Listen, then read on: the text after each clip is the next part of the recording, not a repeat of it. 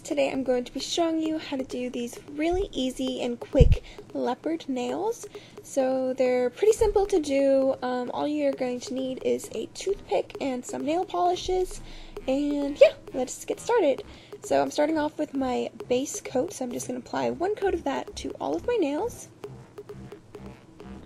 And then I'm taking my base color, and this was a pretty sheer nail polish that I was using, so I had to apply three coats, but it's just kind of like a shimmery, pearlish white. Um, and feel free to use any kind of color combination. Lighter color for the base, medium color for the circles of the leopard print, and then a darker color to kind of line them.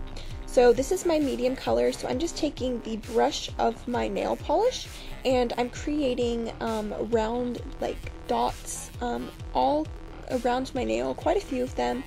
Um, and they don't have to be perfect circles by any means, kind of the messier the better, I guess. Um, so just do that on all of your nails. And then once you've done that, I'm taking a toothpick with some black nail polish on it, and you're kind of kind of just line around the medium colored dots we just made. You don't want to totally line them. You kind of just want to make little shapes and dots around it, as you can see I'm doing. Um, what I would suggest is find a picture of leopard nails and use that as your um, inspiration when doing these because it's a lot easier to follow how a picture looks. Um, so I would just suggest doing that, but they're really not hard.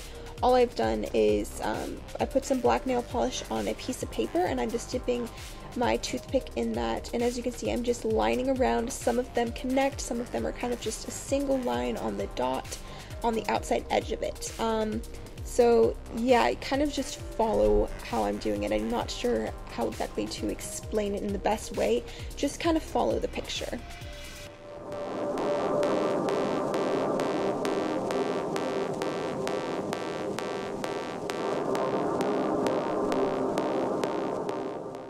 And then what you want to make sure to do is wipe off your toothpick on a paper towel so the black nail polish doesn't clump up on that and get too thick. Then um, take a little more black nail polish on your toothpick and just kind of create random black like shapes on the nail after you're finished lining around the um, dots we made. So like lines, kind of a V shape, um, kind of different little splatter type shapes as you can see I'm doing there. Then all you want to do is just apply your top coat and then you're finished. They're super easy. They really don't take very long. It's not a very complicated design. But yeah, once you are finished applying your top coat, your nails are complete.